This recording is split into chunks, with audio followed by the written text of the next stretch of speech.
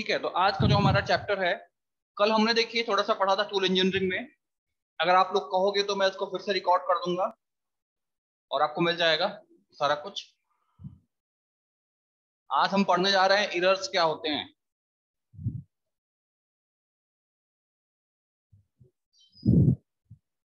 हमारा सब्जेक्ट जो है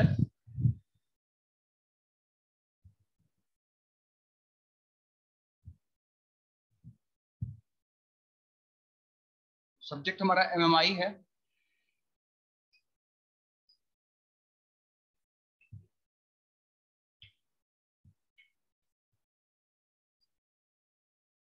हमारा टॉपिक आज का है।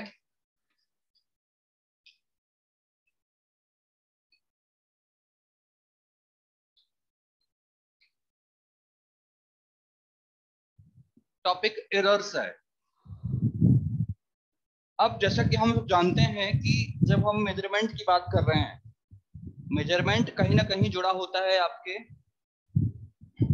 मेज़रमेंट जो हमारा होता है, वो कहीं ना कहीं जुड़ा होता है। एरर जो सॉरी जुड़ा होता है, वो कहीं ना कहीं मेज़रमेंट जुड़ा होता है। अगर हम मेज़रमेंट को सही तरीके से नहीं करेंगे तो हमारा जो भी वैल्यू आने वाली है, जो भी हमारा रिज़ल्ट आएगा, मान लीजिए, एक हमको ऑब्जेक्ट है ठीक है?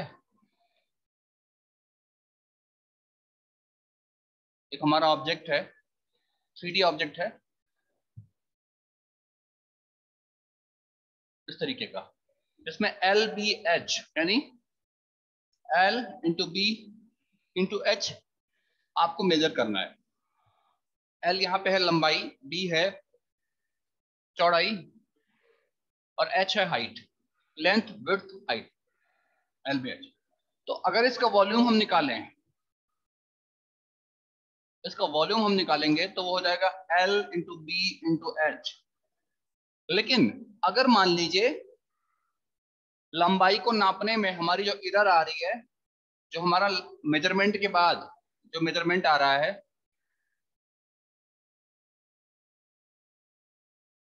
वो आ रहा है, लंबाई का आ जा रहा है लेंथ का। लेंथ आ जा रहा है L plus delta L width आ जा रही है।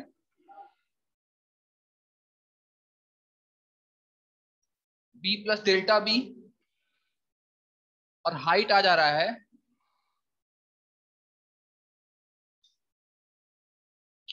हाइट आ रहा है एच प्लस डेल्टा एच तो अब जो नया वॉल्यूम आएगा जिसमें इरर होगा इरर की वजह से जो न्यू वॉल्यूम आएगा, वो देखिएगा नया आयतन जो होगा हमारा, वो क्या आ जाएगा? वो होगा L plus delta L into B plus delta B into H plus delta H आपको हो सकता है एक बार ये समझ में आए कि क्या चल रहा है। हम एग्ज़ाम्पल मान लेते हैं। लेट ये आपको अच्छे तरीके से समझ में आ जाएगा। Let L equal to ten ठीक है? Delta L is equal to zero point three, B equal to six, delta B equal to zero point two and H equal to four and delta H equal to zero point one five. अब अगर आप L B H निकालेंगे L into B into H जो actual होना चाहिए और जो measurement में इरर आ गई आपकी, उसको निकालेंगे तो दोनों में आपको काफ़ी ज़्यादा अंतर दिखेगा। ठीक है? साफ़ साफ़ आप देख सकते हैं पहले क्या लिखा हुआ है? देखिए, पहले हमने जो आयतन निकाला एल गुड़े बी गुड़े एच के हिसाब से, ये। तो अगर इसके हिसाब से जो आयतन निकालेंगे, जो एक्चुअल वॉल्यूम होगा तो एक्चुअल वॉल्यूम क्या आ जाएगा आपका? एक्चुअल वॉल्यूम हो जाएगा आपका ten into six into four two forty unit cube आयतन है, इसलिए क्यूब लग रहा है यूनिट पे। लेकिन लेकिन जैसे ही, लेकिन जैसे ही आप बात करोगे कि अब जो मेज़रमेंट के बाद जो ऑपरेटर ने वैल्यू निकाली है, अगर वो वैल्यू टेन में ना आके टेन पॉइंट ज़ीरो थ्री आ रहा है। तो अब क्या हो जा रहा है? जो न्यू आ रहा है रीडिंग हमारा, वो टेन पॉइंट थ्री आ जा रहा है।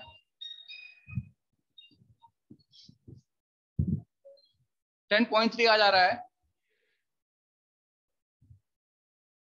आगे देखिएगा। टेन पॉइंट थ्री के बाद जो दूसरी वैल्यू हमारी आ रही है, ये आ रहा है सिक्स पॉइंट ज़ीरो टू या सिक्स पॉइंट टू आ जा रहा है। और तीसरा जो आ जा रहा है वो आ रहा है फोर पॉइंट वन फाइव ठीक है? जो भी इनकी यूनिट्स हो।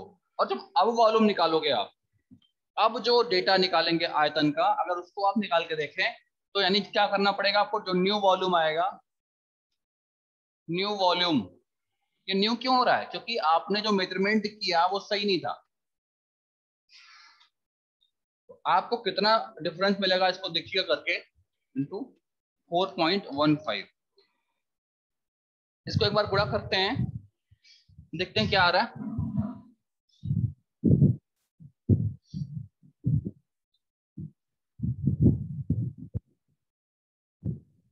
हाँ तो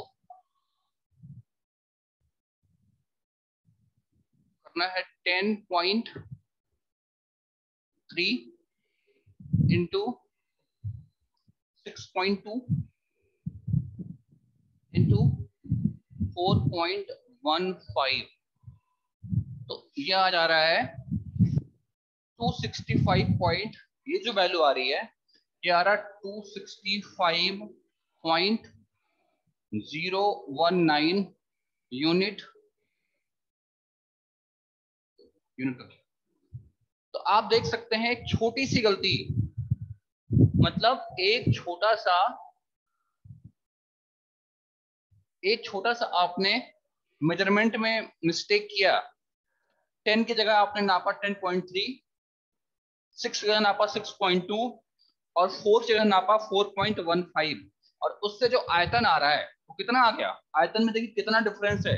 कहा टू फोर्टी और कहा two sixty five point zero one nine huge difference बहुत ज़्यादा अंतर आ रहा है। तो इसीलिए मेज़रमेंट करना, उसको एक्यूरेटली नापना बहुत ज़रूरी होता है। जितना सही से आप मेज़रमेंट कर लोगे, जितना एक्यूरेटली आप मेज़रमेंट कर पाएँगे, उतना ही बेहतर आपका जो है रिज़ल्ट या परिणाम आएगा। ठीक है? तो आपको ये समझ में आया कि अगर आपके मेज़रमेंट में इरर है, जो भी अच्छा इरर कैसी हो सकती है? इरर के हम टाइप की अगर बात करें, ठीक है? तो देखिए, हमारा जो इरर है एक क्वेश्चन हम लोग सुन लेते हैं कि एक, यहाँ देखिए, एक क्वेश्चन ढूंढते हैं हम लोग।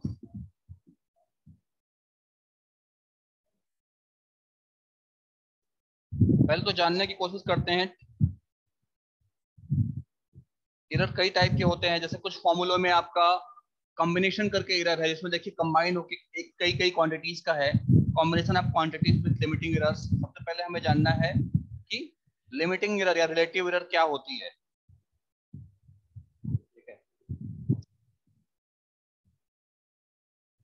तो सबसे पहले हम जो जानने की कोशिश करते हैं, इसको मैं वाइप आउट कर दे रहा हूँ।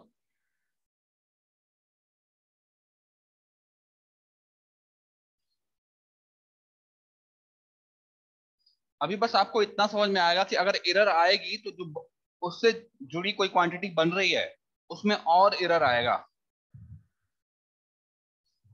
अब हम पढ़ रहे हैं रिलेटिव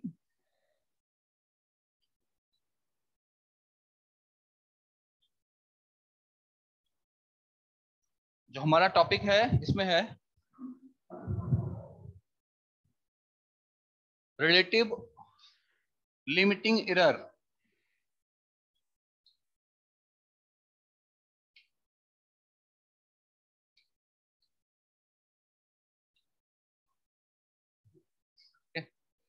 relative limiting error. अब होता क्या है, इसको सुनिए। देखिए, जब हम कोई मेज़रमेंट करते हैं तो जो हमारा रिलेटिव लिमिटिंग एरर आता है, ये क्या होता है? ये रेशियो होता है, जो उसमें एरर आ रही है। ठीक है? जो भी एरर आ रहा है, यानी delta L divide by the actual quantity measured quantity अगर इसकी हम परिभाषा लिखें तो इसकी परिभाषा क्या हो जाएगी?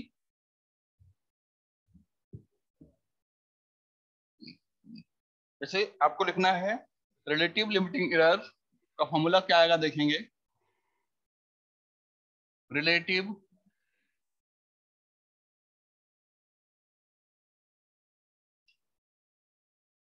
लिमिटिंग एरर इसका फॉर्मूला होता है इसको हम एप्साइलन से दिखाते हैं। Epsilon R is equal to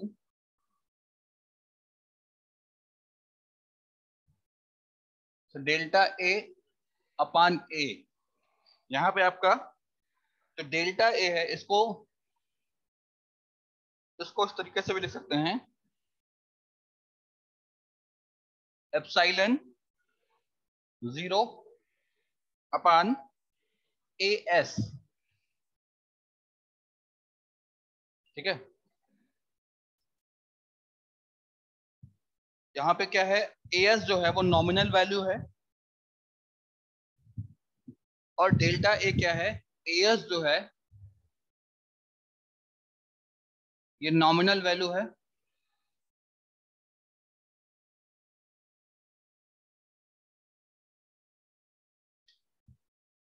और डेल्टा ए क्या है आपका? इरर इन मेज़रमेंट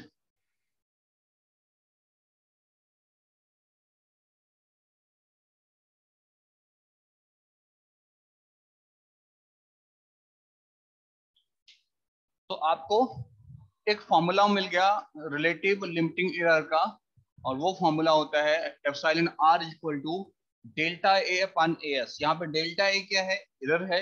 और ए एस क्या है? नॉमिनल वैल्यू या एक्चुअल वैल्यू जो आपकी, जो आनी चाहिए क्वांटिटी की वो है। ठीक है? अब अगर इसको आप परसेंटेज में परसेंटेज में निकालना चाहते हैं रिलेटिव एरर तो ई आर हो जाएगा आपका एप्सिलॉन आर हो जाएगा। एप्सिलॉन आर हो जाएगा। अगर इसको परसेंटेज में निकालना चाहें तो वो हो जाएगा आपका।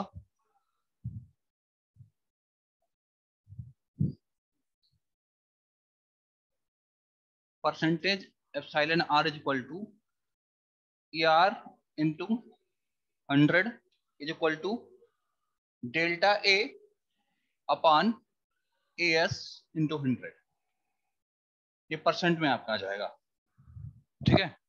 तो परसेंटेज रिलेटिव एरर आप कहें तो इस तरीके से आप इस फॉर्मूले से निकाल सकते हो कि कितने परसेंट की रिलेटिव एरर आ रही है। ये आप देख सकते हैं। जैसे एक क्वेश्चन देखते हैं हम लोग कि किसी भी जो कैपेसिटर की जो वैल्यू है, संधारित्र का जो वैल्यू है वो one microfarad plus minus five percent लिखा होता है। ठीक है? जैसे अगर आप देखेंगे तो कई बार आपको आ, कोई भी प्रोडक्ट आप देखें तो उस पर लिखा होता है कि वैल्यू कौन सा ले रहे हैं हम लोग। ठीक है? अगर हम कई बार देखें तो देखिए जैसे मान लीजिए हमारा क्या है कि जैसे मान लीजिए एक मैन्युफैक्चरर है, उसने क्या बनाया? एक संधारित्र बनाया।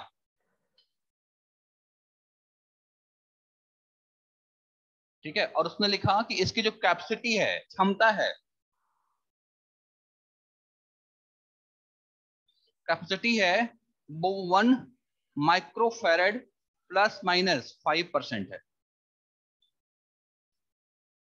यानी कोई भी जो बन रहा है कैपेसिटेंस कैपेसिटर उसकी क्षमता है वन माइक्रोफेरेड और उसका वन का फाइव परसेंट तो वन का फाइव परसेंट यानी एक्चुअल में कितना हो सकता है? देखिए one plus minus one into five divide by hundred तो ये आ जाएगा। इसको आप कैलकुलेट करोगे। One plus minus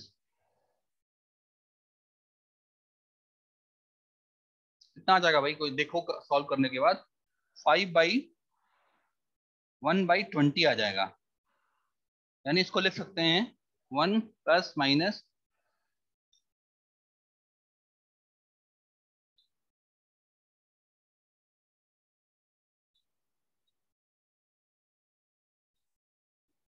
one plus minus zero point zero five. यानी ये जो कांस्टेंट की रेंज आ सकती है, वो हमारा point zero nine five microfarad से लेके और one point zero five microfarad के बीच में हो सकती है।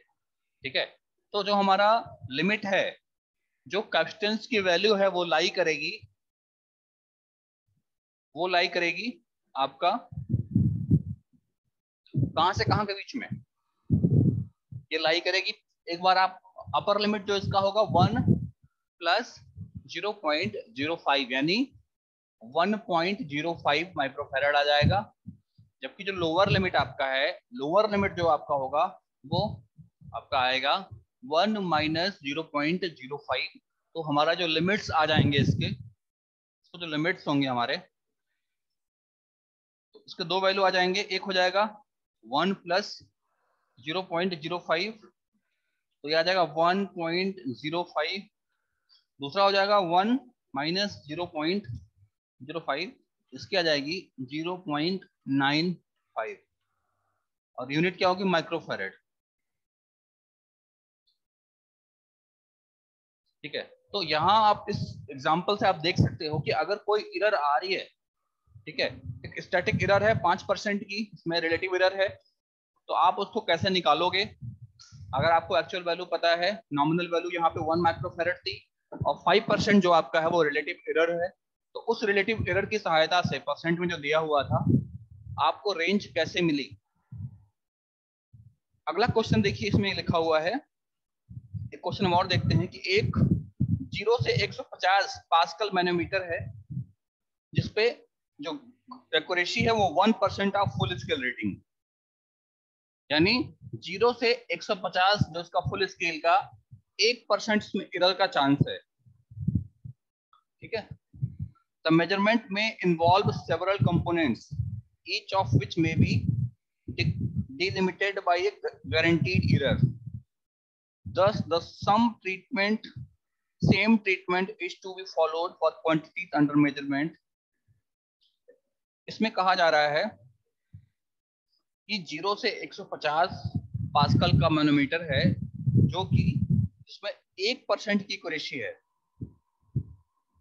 जो इरर के वो है, वो one percent of full scale reading का है और प्रेशर जो मेजर किया जा रहा है इसके ज़रिए, वो सेवेंटी 75 पास्कल है।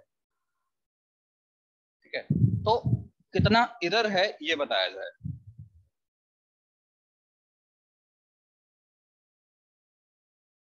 अब देखिए। इसको कैसे निकाला जाएगा? इसको निकालने का सबसे पहला तरीका है, सबसे पहले हम निकालें कि इसको मैं वाइप आउट कर रहा हूँ।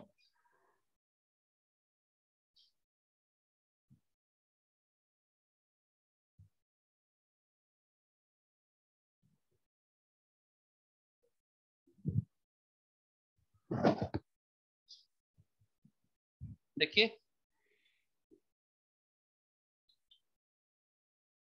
क्वेश्चन टू में कहा क्या कहा जा रहा है? एक मैनोमीटर है।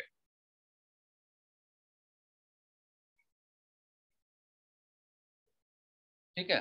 मैनोमीटर है जिसकी रेंज जो हमारी है, वो रेंज है ज़ीरो से 150 पास्कल ठीक है?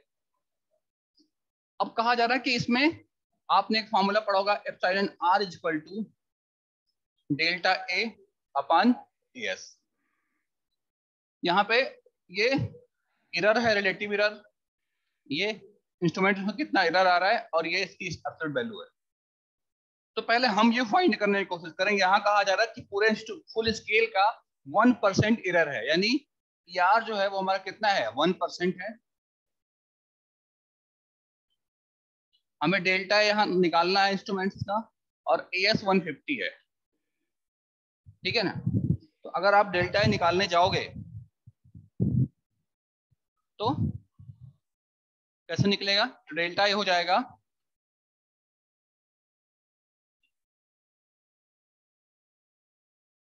हो जाएगा one percent into one fifty. आपको पता है, जब परसेंट हटाना होता है तो सौ से डिवाइड कर देते हैं। तो ये आ जाएगा आपका 1.5 तो हमारा डेल्टा ए जो आ गया ये 1.5 पास्कल का आ गया। पास्कल में क्यों आ रहा है? क्योंकि जो हमारा 150 है, ये किसमें है? ये पास्कल में है। तो ये आ जाएगा 1.5 पास्कल। अब कहा जा रहा है कि आपको निकालना है रिलेटिव एरर फाइंड आउट करना है यदि 75 पास्कल आपने मेज़रमेंट किया हो। ठीक है।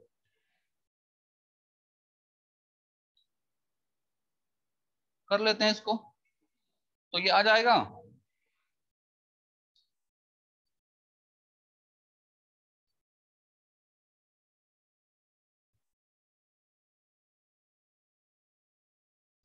यानी टू पास्कल।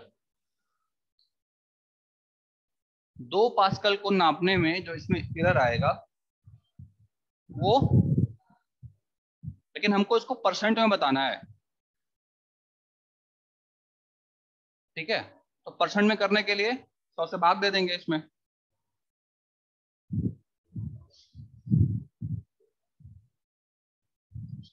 नहीं नहीं, एक मिनट।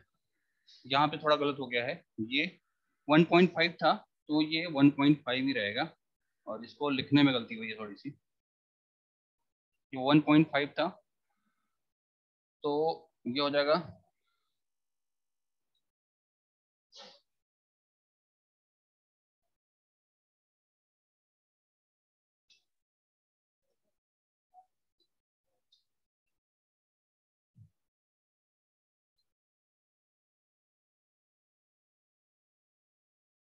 ये ज़ीरो पॉइंट ज़ीरो टू आ जाएगा बच्चों। पास्कल परसेंट सॉरी पास्कल नहीं आएगा। ये केवल आएगा। इरर है तो पास्कल में नहीं होगा ये। अब अगर आप इसको परसेंट में कैलकुलेट करना चाहें तो परसेंट में करने के लिए कितना करना पड़ेगा? ई आर परसेंटेज क्या हो जाएगा आपका? Zero point zero two into hundred यह आ जाएगा आपका टू परसेंट ठीक है? यानी इस सवाल से आप देख सकते हैं कि जो आपका इरर आ रहा है, वो दो परसेंट का आ रहा है। ठीक है? देखिए, कोई भी मेज़रमेंट हो, हम इरर की बात क्यों करते हैं? क्योंकि बिना एरर के कोई भी मेज़रमेंट परफेक्टली परफेक्टली एक्यूरेसी के साथ नहीं किया जा सकता। इसीलिए ज़रूरी ये है कि एरर को फाइंड करके उसे एलिमिनेट कर दिया जाए।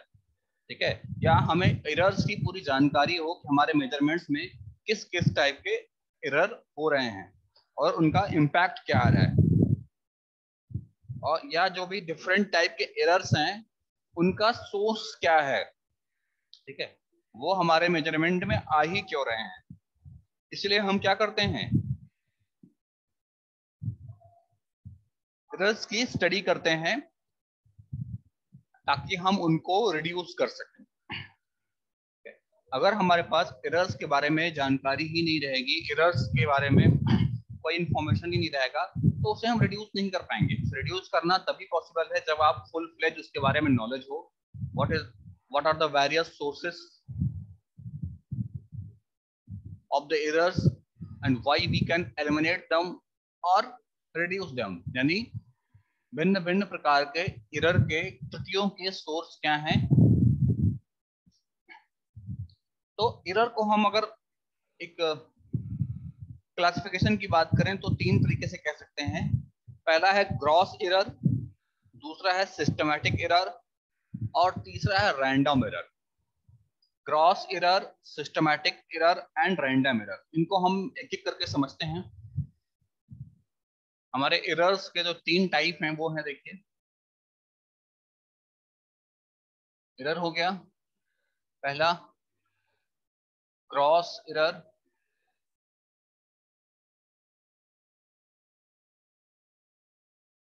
सिस्टमैटिक और तीसरा है रैंडम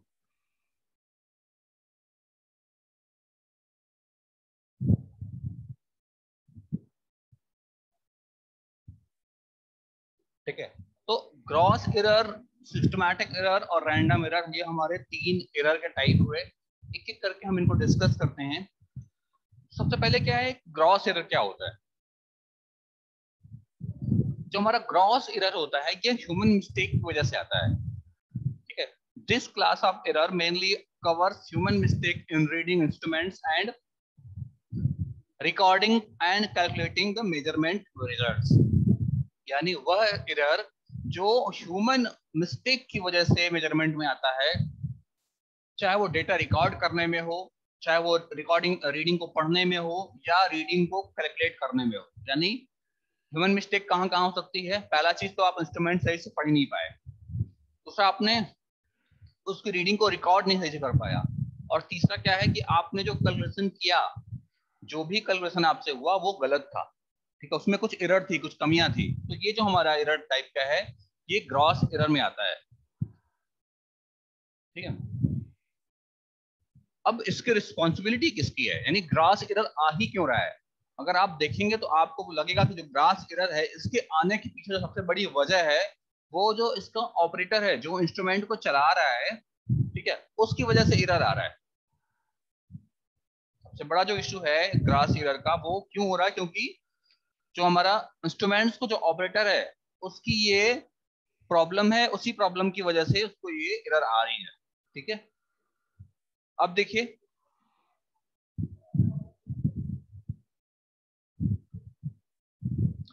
अगर आप देखें कि कभी कभी